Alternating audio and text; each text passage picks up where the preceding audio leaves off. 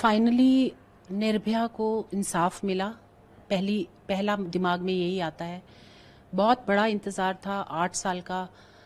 ज़्यादातर उसके पेरेंट्स के लिए ये बहुत दर्दनाक था ये इंतज़ार और बार बार जिस तरह से लीगल लूप होल्स का फ़ायदा ये लोग उठा रहे थे, कॉन्विक्स, उससे उनको बहुत परेशानी थी और पूरे देश को भी। क्योंकि ये एक ऐसा दर्दनाक केस था जिसमें सारी भारतवर्ष की आँखें लगी थी। यही केस ऐसा है जो आगे जाके डेटरेंट की तरह से काम करेगा। हुआ है, लेकिन बहुत लेट हुआ है।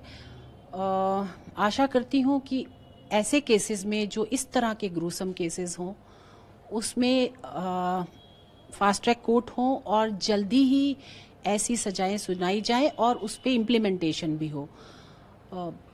अभी उन परिवारों के जिनके बच्चे गए हैं, उनके लिए ये थोड़ा सा डिफ़िकल्ट टाइम है, लेकिन पूरा भारतवर्ष इस आशा में कि निर्भया को आज शांति मिली होगी।